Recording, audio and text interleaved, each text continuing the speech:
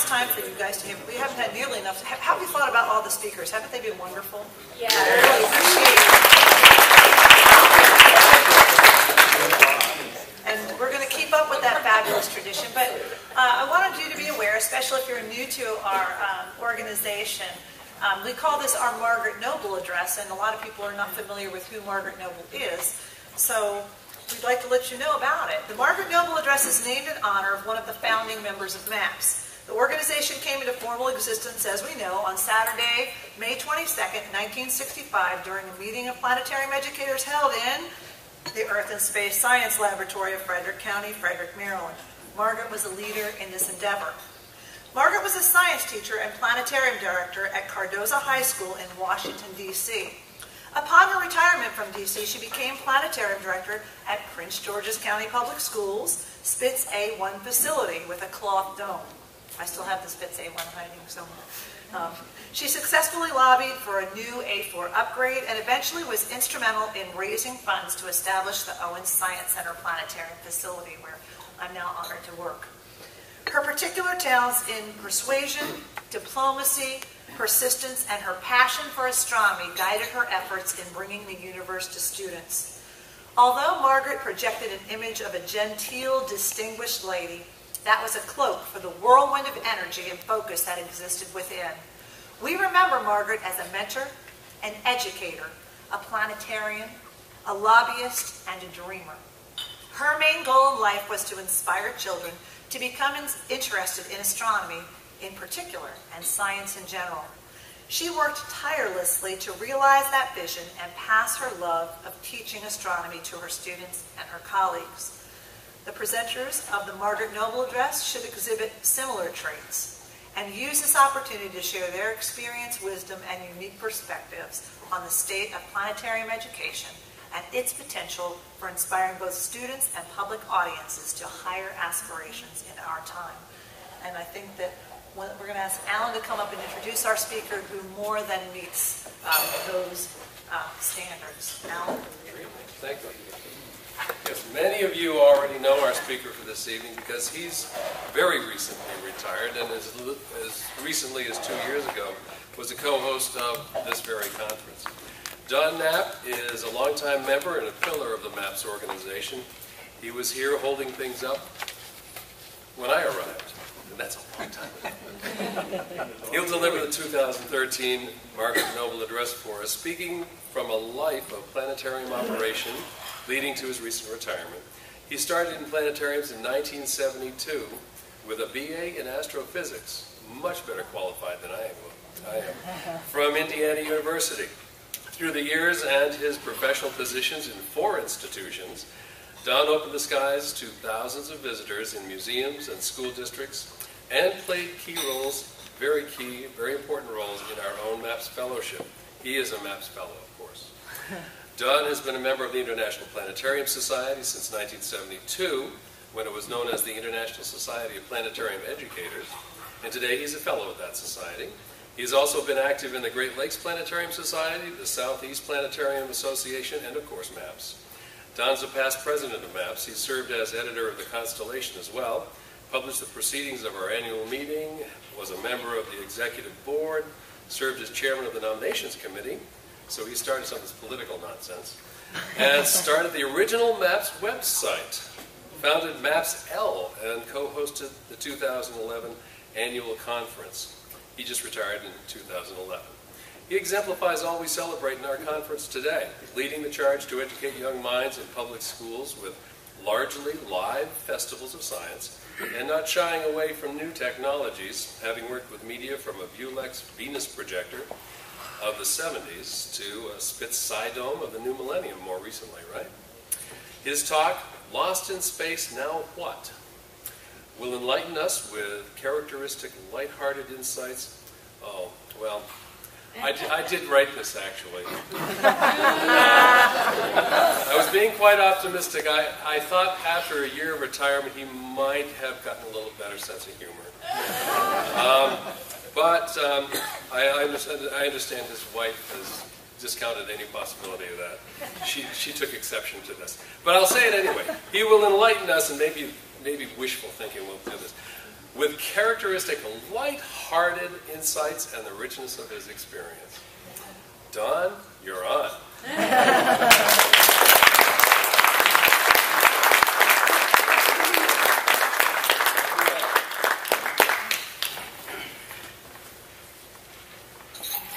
sure, I'm sure I'm gonna need some water, uh, during this so Better get that. Sounds like the mic is working better. Can everyone hear me all right? Yeah. I always like people to ask that, and then it's, they ignore you anyway. They, they just do what they want. So, uh, this is gonna be an unusual address. It's bourbon.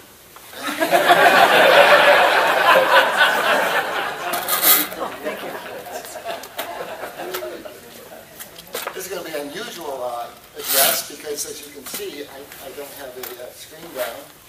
I don't have a projector to fiddle with. You're going to have to look at me for the next hour and a half. Maybe not an hour and a half. uh, I will try to keep it brief. I can keep it even briefer because uh, I was going to tell you about my background a little bit, and about the uh, honor of being selected as uh, Margaret Noble Address uh, speaker, but my history's been given already by Alan. I don't have much to add there, but I'll probably just repeat it since uh, it's all written out anyway. Alan, I'd like to start out by telling you what a pleasure it is to be here tonight. But I won't really know that until my speech is over, so to hold off that and uh, let you know how things turned out. When you first asked me if I would be the speaker, I was honored. Yeah, this sounds good. And then I thought about it. A little bit apprehensive now, because now here I am speaking before uh, my peers. It's kind of a daunting task. I know I've uh, spoken in public quite a bit, but like all of us, I usually do it in the dark. I'm behind the audience, but you Yeah. can't see me. And they're all strangers, so it doesn't matter if I screw up. That's not the case tonight. I can see you, and it's scary. And you can see me, which is even scarier. But at any rate, I said I'd do it. I'll go through with it. The guidelines also worried me a bit. Patty uh, just read them. So uh, you know the problem I have. Uh, the part where they said you should use this opportunity to share your experience, wisdom, and unique perspective on the state of planetarium education. That's not asking much right there. I have to give a state-of-the-state uh, address about our profession. And I also have to inspire, inspire both students and public audiences to higher aspirations in our times. Well, I'll do the best I can. I am going to give you a little bit of my background, uh, because I'm supposed to give you my perspective, and you probably need to know what that perspective is built upon. As Alan said, I uh, entered the planetarium field back in 1972. I had a uh, bachelor's degree in astrophysics, stars in my eyes, was ready to get to work, and found a position, oddly enough, fairly quickly in the Bartholomew Consolidated School District in uh, Columbus, Indiana. I uh, am an Indiana boy. I went to Indiana University both for my master's and my bachelor's degree. Would love to return at some point. I was uh, to develop and present school and public programs for the Lauren S. Noblet Planetarium. It was a brand new 9.1 meter dome, plaster dome. The thing I remember most about it is uh, it was new construction. And when I first saw the dome, I noticed that uh, along the cove, somebody had scratched in Captain Carrot. It's been there ever since. I never knew who did it, never know why, but it was a distinguishing feature for the facility. As Alan said, I had a uh, Viewlex Goto Venus model star projector. Excellent projector. It was built like a tank. You couldn't kill it, you couldn't hurt it, and it was great to work with. Uh, It had two inboard uh, star balls, and uh, the planet cages were on either end.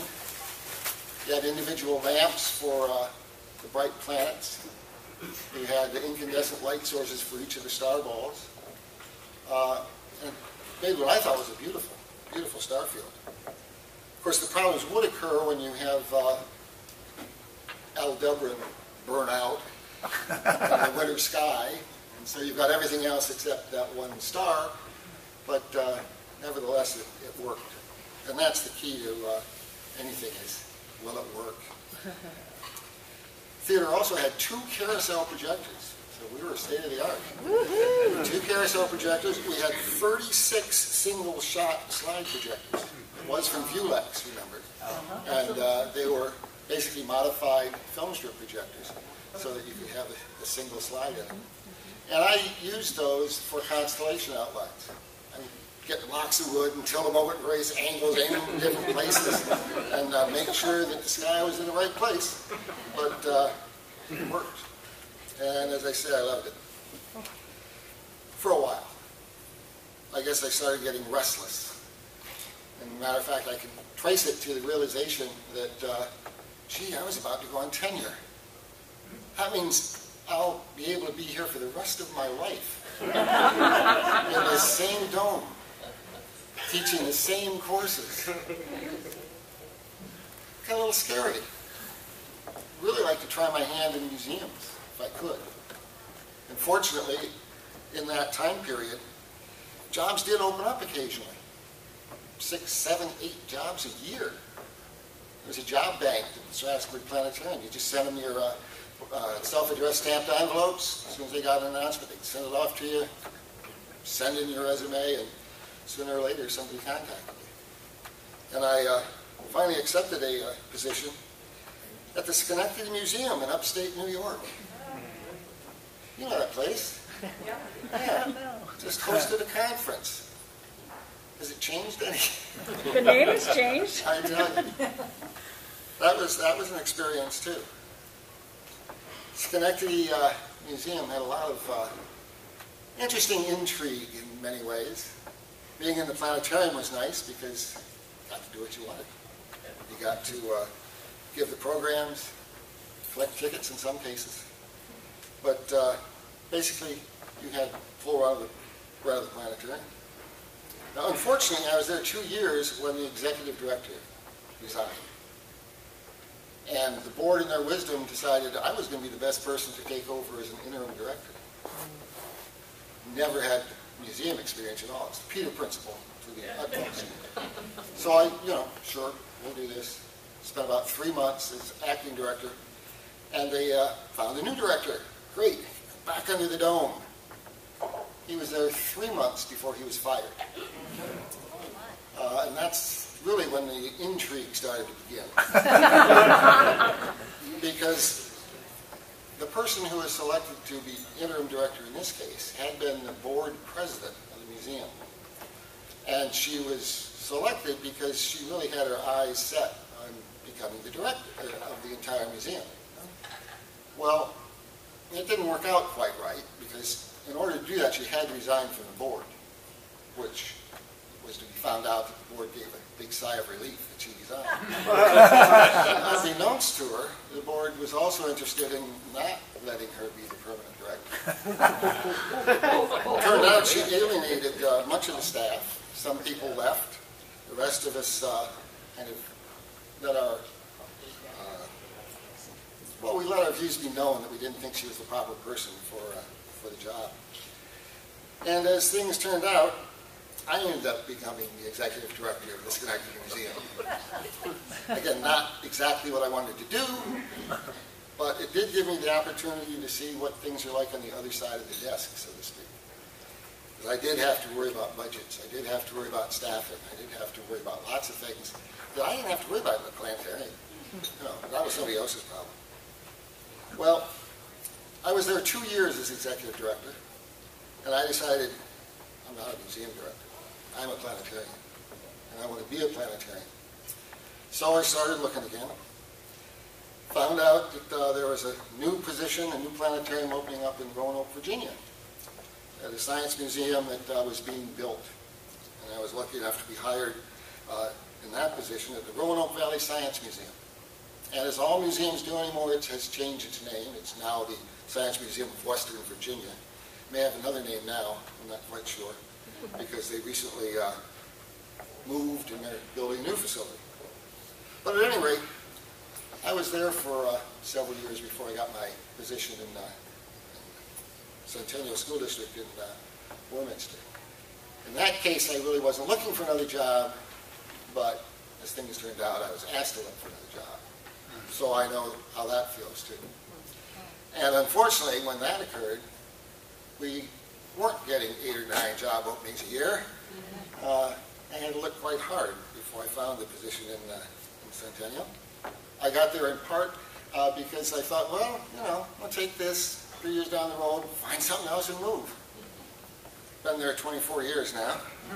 So uh, sometimes you take what's given to you. Now looking back, I think of this time really as kind of the golden years of planetariums, at least for me. Because a lot was going on in the planetarium field in the early 70s, 80s. MAPS had formed in 1965, so it was only seven years old when I started. IPS formed in, uh, the 70, in 1970. I became a member in 72, attended the first conference uh, when it was officially uh, called the International Society for Planetarium Educators. Those days, international meant the U.S. and a couple places in Canada. Later on, it became a couple places maybe in Mexico. But that meant that the meetings were at least close by. And I got to attend quite a few of those early meetings. Unfortunately, lately I haven't been able to uh, go to Egypt or uh, go to Australia. But I would really like to. now that I'm retired, maybe I'll be able to. We'll see. It still costs money, though, to get to those places. It's a strange thing. But uh, not only was uh, were organizations being formed, the planetariums themselves were making meetings. Looking back, I can remember that the planetarium that I held at highest esteem was the Strasenburgh Planetarium in Rochester, New York, because they really wanted to share their knowledge, their skills, their techniques with others. Up until that time, really, the big planetariums were the big planetariums. You know, they didn't mix with the uh, smaller facilities. Today, today, of course, that's all changed. We, wait a minute. I guess we, no, okay. It's changed a little bit. But one of the things that uh, I remember about it was that they used to have show kits that would be distributed free of charge in many cases. There were grants that were given to the planetariums to make these shows, distribute them to school planetariums and others, and you could put on a high-quality show for pennies. You got slides, all that you needed. You got the script. You got uh, the soundtracks. You even got uh, usually descriptions on how to make special effects because you didn't just go down to the corner drugstore and buy your special effect machine. It was great. And there were some great shows. Still remember the, the old Hansen shows also from uh, Salt Lake City. Programs like Footsteps, probably remember that one. Skywatchers of Ancient Mexico, Universe of Dr. Einstein. And uh, of course, when Carl Sagan was the rage, there was a planetarium program, uh, Cosmos, from the old Cosmos show. Uh, Jack Horkheimer had one. What was that, Starbound? I believe that was the name of it. Stargazer. And that was full of multimedia effects. Really kind of shook things up a bit. But at any rate, you can see that in the 70s and in the 80s, public interest in the space program was still pretty strong too. For the most part, there was at least adequate funding for planetariums. There'll never be enough funding for planetariums, unfortunately. And the field was pretty healthy all the way around. Unfortunately, though, by the end of the 80s, things began to change. And I personally trace the uh, beginning of this to one event, the Challenger disaster, on January 28, 1986. For the explosion that took place 73 seconds into the flight not only took the lives of its seven-member crew, it brought an end, really, to NASA's can-do image created doubt within the government and the public at large, I believe, as to the necessity of uh, manned space program. Coupled with that, we've been having uh, space probes to the uh, planets on a regular basis. By 1986, by 89, the Voyagers had passed by Uranus and Neptune. That was winding down. And I think the interest in that even was winding down with the uh, public. And it seems to me that uh, throughout the 90s and into the first decade of the 21st century, well, that's odd to say for me. 21st century, I still can't get used to that. Support for planetariums gradually began to dry up. School planetariums in particular. Many were built during the height of the space race, in the 60s and early 70s. They're getting old, showing their age. The people who were instrumental in seeing that they were built, they weren't there anymore. New administrators were in place with different ideas, different uh, uh, views of what should be and shouldn't be taught. Many school districts chose to simply close the facilities down rather than to uh, repair or replace the aging equipment. Public planetariums had their own problems, particularly those in mid-sized cities. Of course, budget cuts resulted in staff being let go. Museums began to look at planetariums as potential sources of income rather than as part of their educational mission. Many planetariums were expected to offset all of their expenses with income from the admissions they took in. How often does that happen? IMAX theaters began to supersede planetariums as a major draw for museums. Jobs began to dry up. To me, that seemed like the decline the golden age. Now it brings us to today. I think we're a field in transition, obviously. Many facilities, particularly those located in public schools, are in dire straits, hanging on by their, uh, well, fingernails. Many, perhaps most districts are faced with ever-shrinking budgets, more and more pressure to stick to the basics, have to have uh, uh, a multitude of standardized tests, you have to teach to the core curriculum, which doesn't include a whole lot of astronomy. It appears that things are really going to get worse before they get much better. But they will get better. I have confidence in that as well. And I think evidence of that is the digital revolution that's taking place. Many of the older school planetariums that were deemed to be obsolete, instead of being shut down, are being converted to full dome theaters.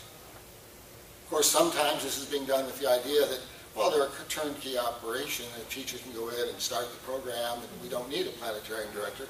But uh, nevertheless, the planetariums are still there. Public planetariums have jumped onto this digital revolution with uh, a zest. Seems like almost every month there's a new full dome theater opening up with the uh, latest cutting edge uh, equipment, slightly better technology than the last, and I kind of keep up with the Joneses going on with the different planetariums. As an aside, I can remember attending an IPS conference, I think it was in 1980 in Chicago. Adler Planetarium was uh, hosting an event, and we were having a luncheon uh, there. Seated next to me was a woman named Jerry Panic, who brought up the subject of a video-based star projector. Quite frankly, most of us at the table looked at her like, are you crazy? Can you imagine video on the dome producing the stars? I mean, they're, they'd be fuzzy. They, they're in black and white. It's not going to work, at least not in my lifetime. Well, she was quite firm in her belief that not only would this happen, but it would revolutionize the field. And three years later, the first Digistar opened up at Science Museum in Virginia in Richmond. I got to see it in action in 1988 when the IPS conference was held there. And I have to admit, the starfield was fuzzy. It was monochromatic. You couldn't show full definition images. You couldn't have uh, moving constellation uh, outlines in all their glory like we do today. But it worked. And it improved. And today, well, we know what's happening. She was right. It's taken off. And for good reason. The visitors at today's planetariums are no longer stuck on the surface of the Earth. They can travel to virtually anywhere in the universe, touch of a button. teaching possibilities are endless, and I think we're really just scratching the surface there. Things that Dave Bradshaw does uh, with his SIDO. Inspiring. The things that uh, I've heard you talking about doing in your own classrooms using digital. It, it's amazing what can be taught with that. And not only that, but you can share what you do much more easily. I can remember again in the old days, someone described planetariums as sort of like being home movies under a dome. Because each one had their own equipment, each one had their own uh, slides, each one had their own, and it was like watching a home movie, home uh, slideshow. But now, we can reproduce our programs. We can use bits and pieces that we want in the way we want. And that really, I think, is important. The cost of show production, of course, is uh, kind of out of hand for school planetariums. Although a lot of the things you want to do in a school lesson, all you need is to be able to access those things that are already in the software. Don't need much money to do that. It's the commercial programs that are expensive. And that uh, the licensing of that is something that uh, really smaller planetariums have to learn how to deal with. But no matter what the future brings, I'm convinced that planetariums in one form or another will somehow survive. And planetarians will be needed to run them. So there will be jobs, there will be fun things to do. Now part of the uh, call to what I should talk about included inspiring folks. So I've come to my wow portion of the talk. wow actually stands for words of wisdom. I guess the old, for, old, old person like me uh, has the wisdom to uh, give some thought as to what uh, what people need to know to survive for 40 years or so. Doesn't matter whether you're in a small inflatable dome, whether you're in a gigantic uh, hybrid system. There are certain skills that you need to develop, produce, and present the content needed under the dome. So the rest of my talk is really just going to be kind of a hodgepodge of ideas, suggestions, and I'll admit in some cases pet peeves about uh, the profession. Let's start with some uh, suggestions few basics. Be nice to everybody, all the time. No reason to be grumpy. Be nice, smile. If you're nice to people, people will be nice to you. And that makes things a lot easier. When you need stuff, when you uh, want support, or if you just want to sit down and have a Coke together, something like that.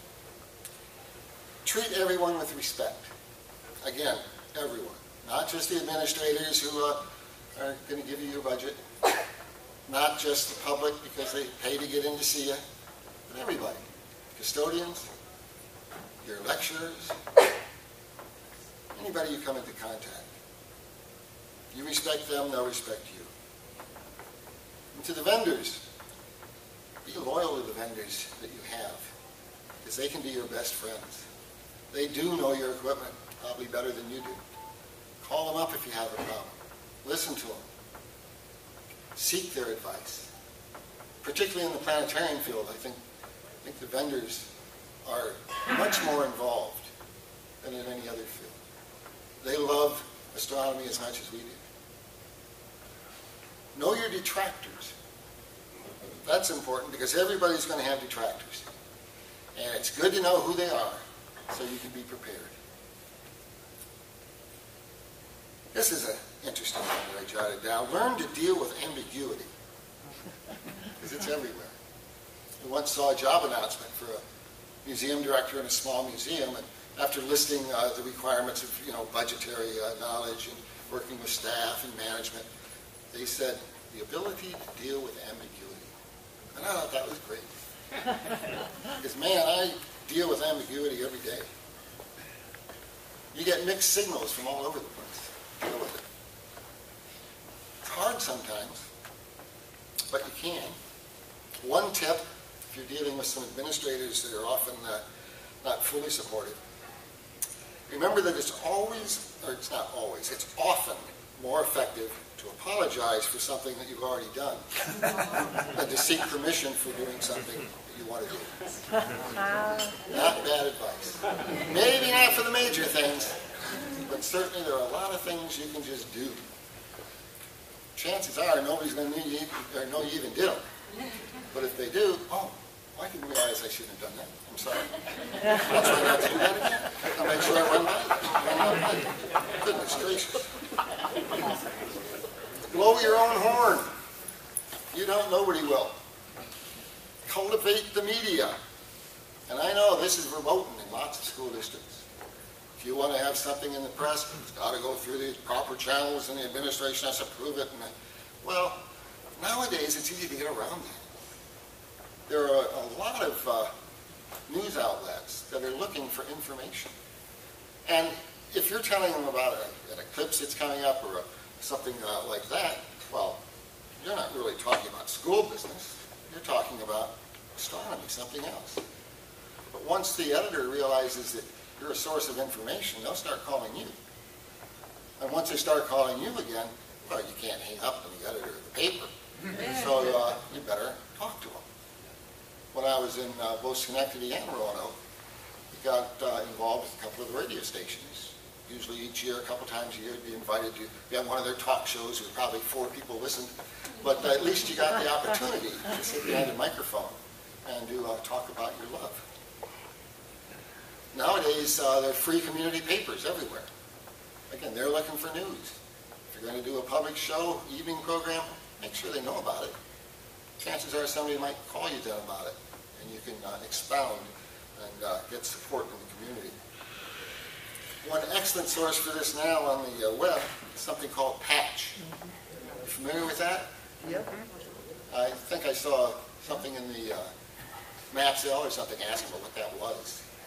But basically, uh, it's a, I, I would assume somebody came up with the idea and said, you know, if we get all these small towns and uh, give them a web page and let them uh, have a template for uh, giving news, we can uh, make some money that way with advertising. Well, virtually every town in our area, at any rate, has their own patch. And again, you let them know about something, they're always wanting news, they put it on the web. And uh, there are people that read those regularly. So cultivate that media. And again, don't forget to thank people who help you. Big on thanks. Sometimes uh, you take people for granted, people that help get the school open for you, get the uh, facility shut down after you leave. Make sure you thank them now and then. Accept criticism with grace. After all, you can just accept the criticism if it's something that you think is valid, or you can ignore it. Don't get upset about it. It's just somebody else's opinion. You're the expert. You've got the degree. You've got the pointer.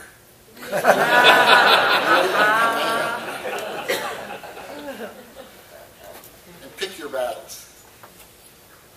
Battles. That's, that's one of the things I try to do all the time. Learn what's important to fight about.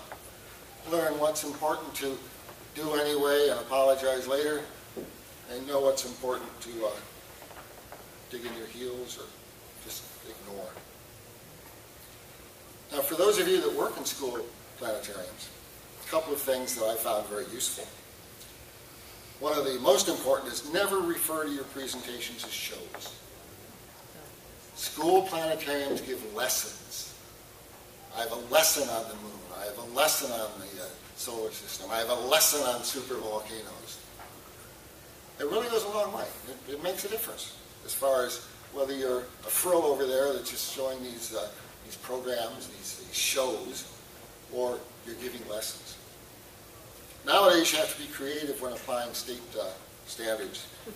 And for advice on that, I'd suggest talking to Kim Small.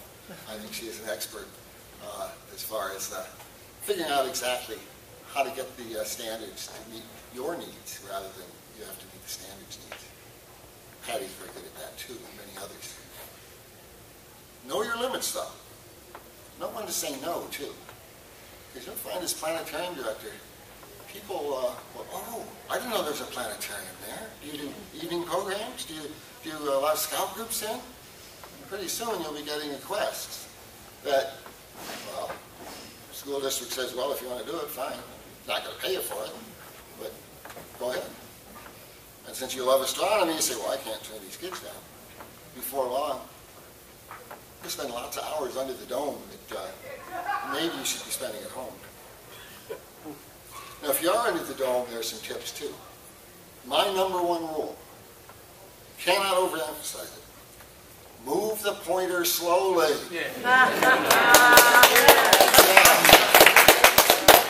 I have to give kudos to Sam. In the very opening presentation, the first day, he's showing where the sun is.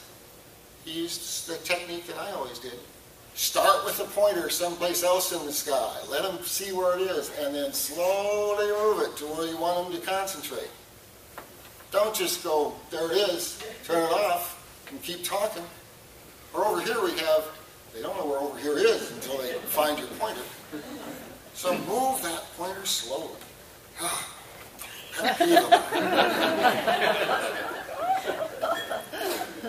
Similarly, try to make slow, smooth transitions from one scene to another. That's not always easy, but uh, try not to run the sky backwards. That's another of my pet peeves. Try to at least keep things moving in the right direction. Try to be as accurate as you can. But don't go overboard with it either. I'll get to that in a moment. Please, always use a microphone.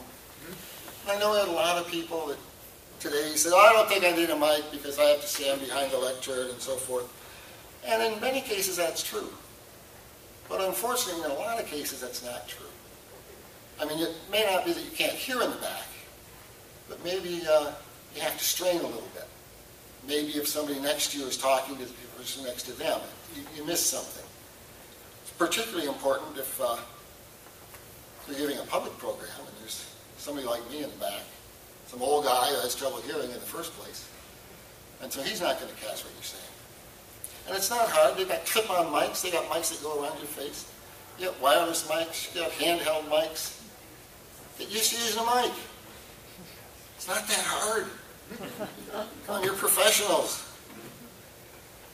Know your audience. Know who you're talking to. Have an idea of what they know about you or about sky. Certainly give different programs to elementary students than high school students. Yeah. But basically, I found that there are four, four topics in astronomy that you give, you talk about. You talk about the moon, talk about the constellation, talk about the solar system, talk about the universe. Now, you may talk differently to a college level class in astronomy versus a third grade class in astronomy, but it's still the same stuff. Just use different words, different ways to describe things. Oh, I haven't said so yet. Move the pointer slowly. Very important. Okay. Move that slowly. When answering a question or trying to describe something, remember, keep this in the back of your mind. Some people will think this is heresy.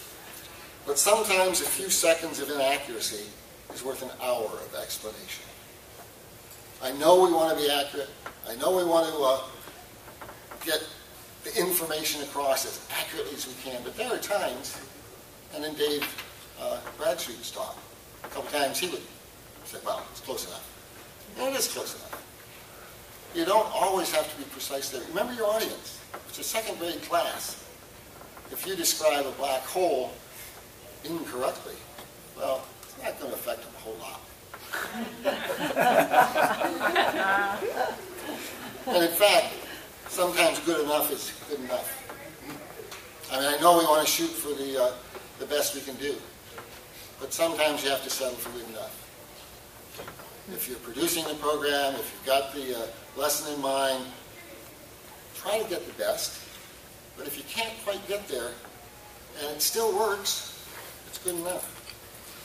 For the best tool is the simplest one that works. Simplest one that works. We had a problem with the uh, equipment uh, yesterday evenings about the moon. that example. Well, in your own theater, you'd have a plan B. You'd reach back and you'd find your uh, styrofoam moon ball, stick, get some a flashlight, and you'd continue. That would be good enough in that case, because that simple tool is as effective in many cases as, as the fancy ones on the dome. And in fact, it doesn't matter what technique you use. What matters is how effective it is. And that's something that sometimes I think we forget. We think that our way is the best way. And if somebody isn't doing it our way, well, it can't be as good as mine. They can't be getting the, the information across. But you know, there are lots of ways to do something right. Lots of ways to do something wrong, too. So you've got to be careful. Yeah. But nevertheless, do what you're comfortable doing. Do what you're comfortable doing. And be enthusiastic. Like Phil was pointing out, have a passion. We wouldn't be doing this if we didn't. Show it. Have fun while you're doing it. Oh, move the pointer slowly. move it slowly. Bugs the heck out of me. Finally, just a couple of comments about our profession as a whole. You're the expert. Under that dome, you are the master of the universe. Act like it. If somebody asks you something you don't know, say you don't know. That's all right. Say you can find it on the internet. Look it up. It's a good assignment for you. I don't know how many miles it is to Pluto right now. Don't need to. Really, really, really, really wanted to, you could find out easy enough. There's some things you should know, though. You need to know the constellations. If you're working in the planetarium, know the constellations. Be able to point out Pegasus. Be able to find Virgo. Be able to identify some objects like the Pleiades, the Orion Nebula. Know that Albireo is a double star. These things are important. Know what's visible in the night sky. This is something I've realized, being retired, is that I don't pay attention as much anymore. I used to know what phase the moon was in to the day. I used to uh, know what planet was where, when. But now, I don't even get to see the stars much.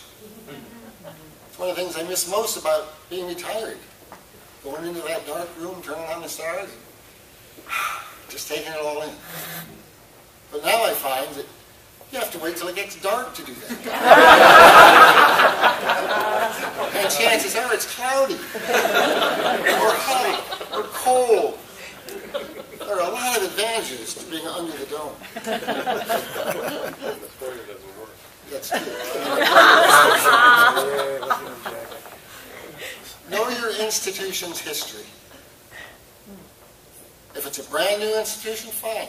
Know who helped build it and why. If it's an older institution, like many of the schools, know why it was built in the first place. Who was the first director? Do you know that? Be active in the profession.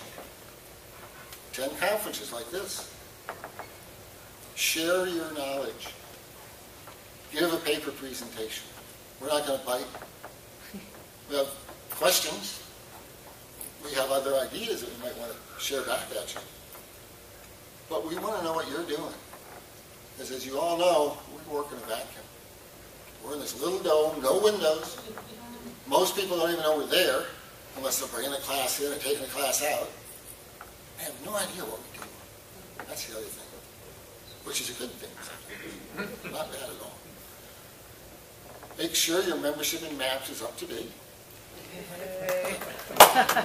Join the International Planetarium Society. I know it's international, what do I want to join a group like that for? They're just as down to earth as us. It's amazing. If you do have an opportunity to go to a conference, you will meet some very interesting people. And the next time you see them, whether it's two years later or eight years later, they'll remember you and you remember them.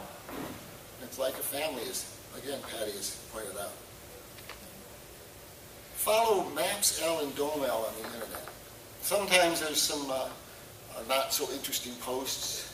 But other times, there's some really good information that you, uh, you can get from that. And it's not that hard to, uh, to follow. Subscribe to and read one or more astronomy magazines. I personally like Sky and Telescope. Been subscribing since, gosh, 1968, I guess.